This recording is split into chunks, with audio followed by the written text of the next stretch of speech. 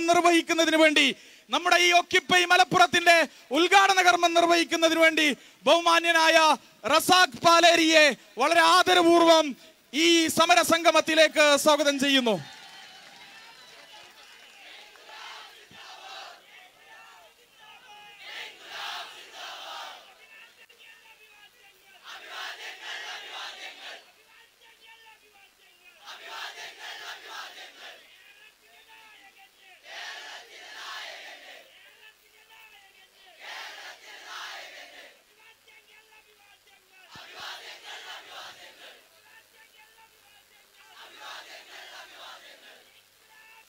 പ്രിയപ്പെട്ട ഫെട്ടേണിറ്റി മൂവ്മെന്റിന്റെ സംസ്ഥാന president K M Shafrin പാർട്ടിയുടെ കേന്ദ്ര കമ്മിറ്റി അംഗം പ്രിയപ്പെട്ട ഇ സി ആയിഷ ജില്ലാ പ്രസിഡന്റ് നാസർ കീഴ്പറമ്പ് ബഹുമാന്യനായ പി എ പൗരൻ അവറുകൾ ഈ ഒക്കിപ്പായി മലപ്പുറത്തിൽ പങ്കാളികളായ നിരവധിയായ നേതാക്കന്മാർ ഫെട്ടേണിറ്റി മൂവ്മെന്റിന്റെ ജില്ലാ പ്രസിഡന്റ് ജംഷിൽ അബൂബക്കർ പ്രിയപ്പെട്ട സുഹൃത്തുക്കളെ സഹോദരി സഹോദരന്മാരെ രക്ഷിതാക്കളെ ഏവരെയും വെൽഫെയർ പാർട്ടി കേരള ഘടകത്തിന് വേണ്ടി ഞാൻ ഹൃദയപൂർവം അഭിവാദ്യം ചെയ്യുകയാണ്. ഈ മഴയത്ത് നമ്മൾ തെരുവിൽ മഴ കൊണ്ട് മലപ്പുറത്തങ്ങാടിയിൽ റോട്ടിൽ ഈ കലക്ട്രേറ്റിന് മുമ്പിൽ ഇരിക്കുന്നത്. ജീവിതത്തിൽ എപ്പോഴും മഴ കൊള്ളാൻ വിധിക്കപ്പെട്ട മലബാറിലെ മലപ്പുറത്തെ വിദ്യ വിദ്യാർത്ഥികളുടെ അവകാശങ്ങൾ നേടിയെടുക്കാൻ വേണ്ടിയാണ്. നമ്മൾ മഴ കൊള്ളുന്നത് ഈ മലപ്പുറത്ത്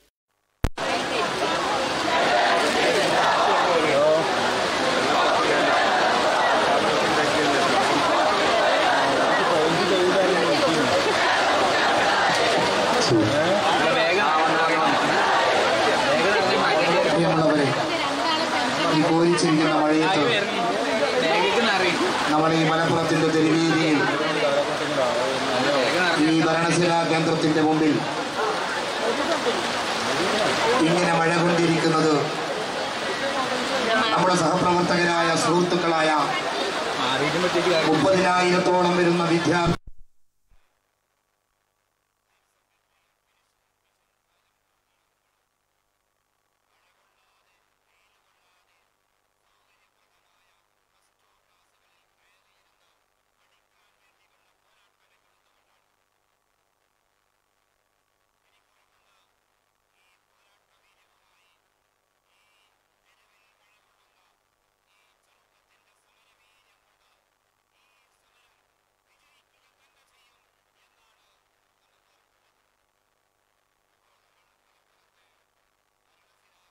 സാധിക്കും.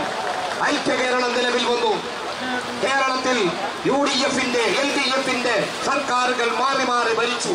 വർഷങ്ങളായി കേരളം ഒരുപാട് ഭരണകൂടങ്ങളിലൂടെ മുന്നോട്ട് പോയിട്ടും ഈ വിദ്യാഭ്യാസ പിന്നോക്കാവസ്ഥ പരിഹരിക്കാൻ അവർക്ക് കഴിഞ്ഞില്ല. പ്ലസ് ടു സ്കൂളുകളിൽ എത്ര സീറ്റുകളാണ് എത്ര എത്ര കുട്ടികളാണ് പത്താം ക്ലാസ് പഠനം പൂർത്തിയാക്കിയിട്ട് ഉപരിപഠനത്തിന് യോഗ്യത നേടിയിട്ട് അവർക്ക് പ്രവേശനം കിട്ടാതെ കഴിഞ്ഞുകൂടുന്നത് മലബാറിലെ ഒരു പ്രത്യേകത എന്താണെന്ന് ചോദിച്ചാൽ പത്താം ക്ലാസ് കഴിഞ്ഞാൽ കോളേജിലാണ് പഠിക്കുക. ഞാൻ അങ്ങനെ കോളേജിൽ പഠിച്ച ഒരാളാണ്. പ്രീ ഡിഗ്രിക്ക് സീറ്റ് കിട്ടാത്തത് കൊണ്ട് അന്ന് തന്നെ പ്രീ ഡിഗ്രിക്ക് പ്ലസ് ടുവിന് സീറ്റ് കിട്ടാത്തത് കൊണ്ട് എത്രയും വേഗം നമുക്ക് കോളേജിലേക്ക് പ്രവേശനം കിട്ടും. ആ കോളേജിന്റെ പേര് സമാന്തര കോളേജ് പാരലൽ കോളേജ് എന്ന വിളിപ്പേരാണ്. പക്ഷേ അത് ഏതോ കടയുടെ മുകളിൽ വാഹനമെടുത്ത ഒരു ഷെഡിന്റെ ഒരു ചെറിയ കെട്ടിടത്തിന്റെ പേരാണ് ആ സമാന്തര കോളേജ്. ആ സമാന്തര കോളേജിലേക്ക് മലപ്പുറത്തിന്റെ മക്കളെ ഇനിയും പറഞ്ഞേക്കാൻ ഞങ്ങൾ സമ്മതിക്കില്ല എന്നാണ് ഇവിടെ പ്രഖ്യാപിക്കുന്നത് വിദ്യാഭ്യാസ മന്ത്രി ചോദിക്കുക എല്ലാരും പഠിക്കാൻ തുടങ്ങിയില്ലേ കഴിഞ്ഞല്ലോ എല്ലാവർക്കും സീറ്റ് കിട്ടിയില്ലേ? മുപ്പതിനായിരത്തോളം കുട്ടികൾ ഏറ്റവും കൂടുതൽ വിദ്യാർത്ഥികൾ കേരളത്തിലെ പ്രൈവറ്റ് രജിസ്ട്രേഷൻ നേടിയിട്ട് സമാന്തര കോളേജുകളിൽ പഠിച്ചുകൊണ്ടിരിക്കുന്നത് മലപ്പുറം ജില്ലയിൽ നിന്നാണ് എന്താ കാരണം? ഇഷ്ടണ്ടായിട്ടല്ല ഇഷ്ടണ്ടായിട്ടല്ല ഒന്നാം ഘട്ട അലോട്ട്മെന്റിന് കൊടുക്കും. സീറ്റില്ലാതെ മടങ്ങും. അലോട്ടുമെങ്കിലും അവസാനഘട്ട സീറ്റില്ലാതെ വരുമ്പോൾ ഗതികെട്ടിട്ട് അവർ പോകുന്ന ഈ കലാലയത്തിന്റെ പേരാണ് പാരലൽ കോളേജ് എന്ന് പറയുന്ന സംവിധാനം. അതിൽ പഠിച്ചതിന്റെ പ്രതിസന്ധി കേരളത്തിലെ മലബാറിലെ വിദ്യാർത്ഥികൾ അനുഭവിക്കുകയാണ്. കഴിഞ്ഞ രണ്ട് മൂന്ന് വർഷം മുമ്പ് അഞ്ഞൂറ് അധ്യാപകർ ദുബൈയിലെ വിവിധ കലാ വിവിധ സ്കൂളുകളിൽ നിന്നും വിവിധ കോർപ്പറേറ്റ് കമ്പനികളിൽ നിന്നും പിരിച്ചുവിടപ്പെട്ടു അധ്യാപകരും അക്കൗണ്ടന്റുമാരുമായ ആളുകൾ. അവർ നമ്മളെ സമീപിച്ചു. അവർ നമ്മളെ അടുത്ത് വന്നിട്ട് പറയാണ് ഞങ്ങളുടെ സർട്ടിഫിക്കറ്റ് വാലിഡ് അല്ല എന്നാണ് അവിടെ നിന്ന് പറയുന്നത്.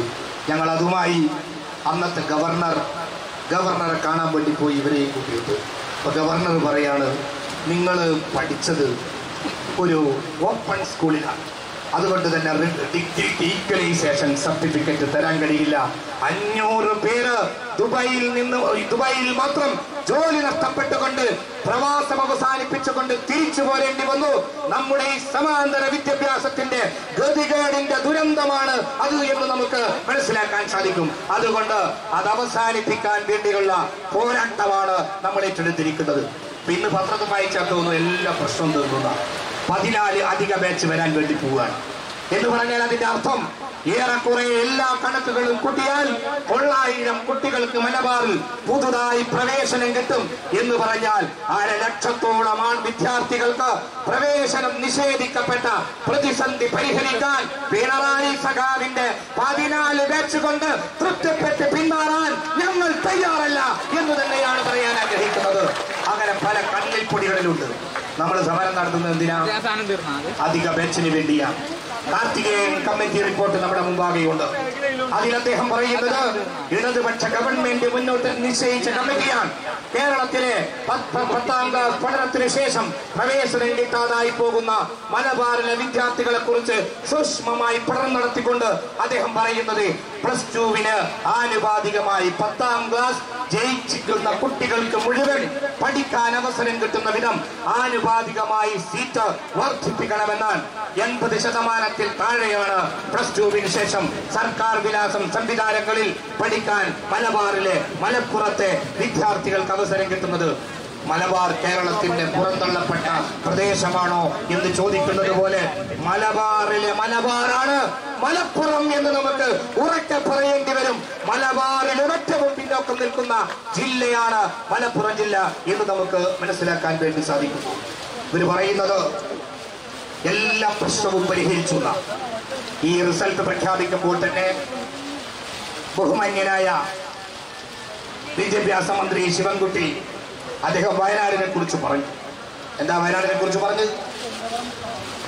വയനാട്ടിലെ കുട്ടികൾക്ക് സയൻസ് മേച്ച ആവശ്യമില്ല കാരണം അവിടെ ആദിവാസി കുട്ടികളാണ്. ഇതേത് വംശീയ ബോധമാണ് എന്തിന്റെ പേരിലാണ് അങ്ങനെ പറഞ്ഞത്? വയനാട്ടിലെ സ്കൂളുകളിൽ സയൻസിന്റെ പേച്ച് ഒഴിഞ്ഞു കിടക്കുന്നു എന്ന് പറഞ്ഞാൽ മനസ്സിലാക്കാനുള്ള സാമാന്യ ബുദ്ധി നമുക്കുണ്ട്. അവിടെ ഒഴിഞ്ഞു കിടക്കുന്നില്ല എന്ന് മാത്രമല്ല പഠിക്കാൻ സൗകര്യമില്ലാതെ നാലായിരത്തോളം വിദ്യാർത്ഥികൾ ഇപ്പോഴും പുറത്താകുന്ന കണക്ക് നമ്മുടെ മുമ്പാകെയുണ്ട്. എന്നിട്ടാണ് ബഹുമാന്യനായ ശിവൻകുട്ടി അവരുകൾ പറയുന്നത്. വയനാട്ടുകാർക്ക് പ്ലസ് ടു സയൻസിന് സീറ്റ് വേണ്ടതില്ല. ആദിവാസികളാണ് അവർ ആദിവാസികൾക്ക് പഠിക്കാൻ ആദിവാസികൾക്ക് പഠിക്കാൻ പിന്നോക്കക്കാർക്ക് പഠിക്കാൻ ദളിതുകൾക്ക് പഠിക്കാൻ മുസ്ലിം ന്യൂനപക്ഷങ്ങൾക്ക് പഠിക്കാൻ സയൻസ് ബാച്ച് വേണ്ട വേണ്ട എന്ന് പറയുന്ന വംശീയതക്കെതിരായ പോരാട്ടമാണ് നമ്മളെ ഏറ്റെടുത്തിരിക്കുന്നത് എന്നിട്ട് ശിവൻകുട്ടി പറഞ്ഞു. വെൽഫെയർ പാർട്ടി ആ പ്രസ്താവന ഇറങ്ങിയപ്പോൾ മന്ത്രി പറയാണ് ചിലർ വിഷയങ്ങളെ അട്ടിമറിക്കുകയാണ്. ഞങ്ങൾക്കൊരു അട്ടിമറിയുടെയും ആവശ്യമില്ല. എന്തുകൊണ്ടാ അങ്ങനെ പറഞ്ഞതോ? ആ പറഞ്ഞതിനെ അതേ വാക്കിൽ മനസ്സിലാക്കിക്കൊണ്ട് തന്നെയാണ് ഈ വംശീയ ബോധത്തിനെതിരായ സംസാരവുമായി ഞങ്ങൾ രംഗത്ത് വന്നത്. പിന്നീട് അദ്ദേഹം പറഞ്ഞു കുറച്ച് ബെഞ്ച് കൂടുന്നേ പ്രശ്നമുള്ളൂ. മൂപ്പരെ വാക്കിടക്ക് തെറ്റുന്ന ആളാണ്. കേൾവിയും തെറ്റുമോ എന്ന് നമുക്ക് സംശയമുണ്ട്. നമ്മൾ ബാച്ച് എന്ന് പറയുമ്പോൾ മൂപ്പര് കേൾക്കുന്നത് ബെഞ്ച് എന്നാണ്.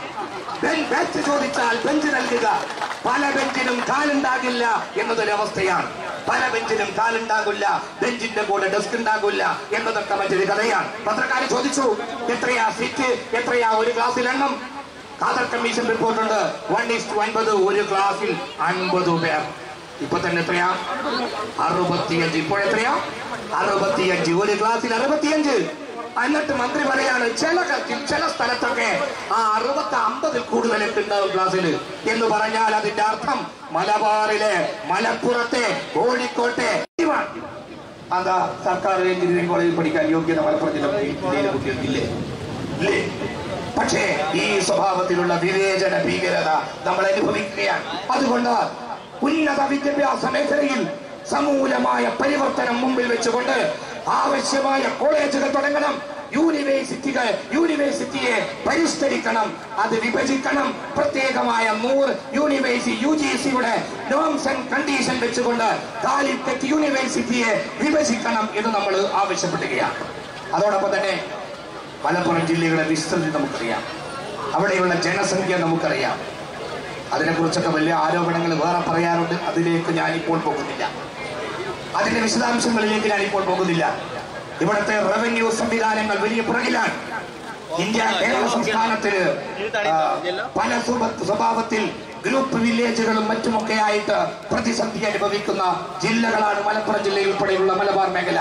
അതുകൊണ്ട് ജനസംഖ്യാനുപാതികമായി കേരളത്തിലെ മറ്റ് ജില്ലകളുമായി താരതമ്യപ്പെടുത്തിക്കൊണ്ട് മലപ്പുറം ജില്ലയുടെ ജനസംഖ്യാനുപാതികമായ വിഷയങ്ങൾ പരിഗണിച്ചുകൊണ്ട് കണക്കുകൾ പരിശോധിച്ചുകൊണ്ട് മലപ്പുറം ജില്ലയെ വിഭജിച്ചുകൊണ്ട് പുതിയ ഒരു ജില്ലക്ക് രൂപം നൽകണമെന്ന് നമ്മൾ ആവശ്യപ്പെടുകയാണ്. എങ്കിൽ മാത്രമേ വിഭവങ്ങളെ തുല്യമായി വിതരണം ചെയ്യാൻ കഴിയുള്ളൂ. വില്ലേജ് ഓഫീസിൽ നിന്നാണല്ലോ സർട്ടിഫിക്കറ്റ് കിട്ടേണ്ടത്. ആ സർട്ടിഫിക്കറ്റിന് പോയാൽ നമുക്ക് കിട്ടുമോ? ആനുകൂല്യങ്ങൾ പല സംവിധാനങ്ങളിലൂടെ ലഭിക്കണം. അത് ലഭിക്കാൻ ലഭിക്കാത്ത വിധം പ്രതിസന്ധിയാണ് മലപ്പുറം ജില്ലയിലെ ആളുകൾ അനുഭവിച്ചു കൊണ്ടിരിക്കുന്നത് അതുകൊണ്ട് മലപ്പുറം ജില്ലയുടെ പിന്നോക്കാവസ്ഥ പരിഹരിക്കാൻ ജില്ലയെ വിഭജിക്കുന്നതടക്കമുള്ള പദ്ധതികൾ സ്വീകരിക്കാൻ ഗവൺമെന്റുകൾ തയ്യാറാകണം എന്ന് നമ്മൾ ആവശ്യപ്പെടുകയാണ്. ഞാൻ അവസാനിപ്പിക്കുകയാണ്. ഈ മഴയത്ത് ഈ പോരാട്ടവുമായി നമ്മൾ മുന്നോട്ട് പോകുമ്പോൾ തീർച്ചയായും ഇത് വിജയിക്കാനുള്ള സമരമാണ്. ഇത് വിജയിച്ചാൽ മാത്രമേ നമ്മുടെ കുഞ്ഞുങ്ങൾക്ക് പഠിക്കാൻ കഴിയുള്ളൂ. വേറെ ഒരുപാട് വർത്തമാനം കൊണ്ട് പണ്ടൊക്കെ മലപ്പുറം ജില്ലയിലെ കുട്ടികൾ ജയിക്കുന്നതിനെ കുറിച്ചൊക്കെ വലിയ ആക്ഷേപം നടത്തിയ ആളുകളുണ്ട്. അവർ കോപ്പി അടിച്ച് ജയി- ജയിക്കുന്നതാണ് എന്നൊക്കെ പറഞ്ഞ് നമ്മളെ കളിയാക്കിയ ചിലരുണ്ട്. അവർക്ക് മറുപടി കൊടുത്തുകൊണ്ട് അത്യുജ്വലമായ വിജയം നേടിക്കൊണ്ട് എ പ്ലസുകളിലൂടെ കേരളത്തിന്റെ വിജയ വിജയ ചരിത്രത്തിൽ വലിയ നേട് ഉന്നി തുന്നിച്ചേർത്തവരാണ് മലപ്പുറം ജില്ലയിലെ വിജയികൾ. വെൽഫെയർ പാർട്ടിക്ക് വേണ്ടി അവരെ നെഞ്ചോട് ചേർത്തുകൊണ്ട് പറയാൻ ആഗ്രഹിക്കുകയാണ്. നമുക്ക് പോരാട്ടങ്ങളുമായി മുന്നോട്ട് പോകണം. അവകാശങ്ങൾ നേടിയെടുക്കാൻ മലബാർ കേരളത്തിൽ നിന്ന് പുറത്തല്ല. മലബാർ കേരളത്തിന്റെ ഭാഗമാണ്. കേരളത്തിലെ സകല മനുഷ്യരെയും പോലെ നികുതി കൊടുക്കുന്നവരാണ്. കേരളത്തിലെ എല്ലാവരെയും പോലെ കേരളത്തിലെ സംവിധാനങ്ങളോട് സഹകരിച്ച് മുന്നോട്ട് പോകുന്നവരാണ്. അതുകൊണ്ട് അർഹിക്കുന്ന അവകാശങ്ങൾ വകവെച്ച് തന്നില്ലെങ്കിൽ നേടിയെടുക്കാനുള്ള പോരാട്ട വീര്യം നമ്മുടെ മുമ്പിലുണ്ട്. വാരിയങ്കുന്നന്റെ മക്കൾ മലബാറിൽ ബ്രിട്ടീഷുകാരോട് നെഞ്ചു വിരിച്ച് പൊരുതിയിട്ടുണ്ടെങ്കിൽ ആ പോരാട്ട വീര്യവുമായി അവകാശങ്ങൾക്ക് വേണ്ടി ശ്രദ്ധിക്കാൻ എന്നും ഞങ്ങളുടെ മനസ്സിൽ ഞങ്ങളുടെ കരുത്ത് വളരെ ശക്തമായി ഞങ്ങളുടെ കയ്യിലുണ്ടോ എന്ന് തിരിച്ചറിയുന്നത് നല്ലതാണ്. അതിപ്പോൾ സർക്കാർ എൽ ഡി എഫ് സർക്കാർ അതിന്റെ പ്രകടന പത്രിക ഫോം ചെയ്തപ്പോൾ മലബാറിന്റെ പിന്നോക്കാവസ്ഥയെ കുറിച്ച് പരിഗണിച്ചിട്ടുണ്ട്. അത് പരിഹരിക്കുമെന്ന് പറഞ്ഞിട്ടുണ്ട്. കാർത്തികേയൻ കമ്മിറ്റി റിപ്പോർട്ട് അതിന്റെ ഭാഗമാണ്. അത് പൂർണമായി മനസ്സിലാക്കാൻ നമുക്ക് സാധിച്ചിട്ടില്ല. നമ്മൾ മനസ്സിലാക്കിയിടത്തോളം ആനുപാതികമായി പ്ലസ് ടുവിന് സീറ്റ് വർദ്ധിപ്പിക്കണമെന്നാണ് ആ കമ്മിറ്റി മുന്നോട്ട് വെച്ചിരിക്കുന്ന നിർദ്ദേശം. അതുകൊണ്ട് ജില്ലയുടെ വിദ്യാഭ്യാസ പ്രശ്നങ്ങൾ പരിഹരിക്കാൻ പ്ലസ് ടുവിന് അധിക ബാച്ചുകളെ അനുവദിക്കുക. അതേപോലെ തന്നെ സർക്കാർ കോളേജുകൾ വലിയ സ്വഭാവത്തിൽ വർദ്ധിപ്പിക്കുക. അവിടെയുള്ള കോഴ്സുകൾ പരിഷ്കരിക്കണം. വലിയ വലിയ ആധുനിക കോഴ്സുകൾ ഐ ടി ടെക്നോളജിയുടെ കോഴ്സുകൾ പുതിയ ആർട്ടിഫിഷ്യൽ ഇന്റലിജൻസിന്റെ കാലത്ത് പുതിയ പുതിയ കോഴ്സുകൾ വരികയാണ്. നമ്മുടെ ജില്ലയിൽ അത് എത്രത്തോളം ഉണ്ട് അതുകൊണ്ട് മലപ്പുറം ജില്ലയിൽ ഉൾപ്പെടെ മലബാറിലെ ക്യാമ്പസുകളിലെ കോഴ്സുകൾ കോളേജുകളിലെ കോഴ്സുകൾ ആധുനിക കോഴ്സുകളായി നവീകരിക്കണം എന്ന് നമ്മൾ ആവശ്യപ്പെടുകയാണ്. അങ്ങനെ സമഗ്രമായ വിദ്യാഭ്യാസ പുരോഗതിക്ക് മലപ്പുറത്തും മലബാറിലും അവസരമുണ്ടാകണം എന്നതോടൊപ്പം തന്നെ ആതുര മേഖലയിൽ ആരോഗ്യ മേഖലയിൽ വലിയ പുരോഗതി ഉണ്ടാകണം അതിന്റെ വിശദാംശങ്ങൾ ഒരുപാടുണ്ട് ഞാനതിലേക്ക് പോകുന്നില്ല.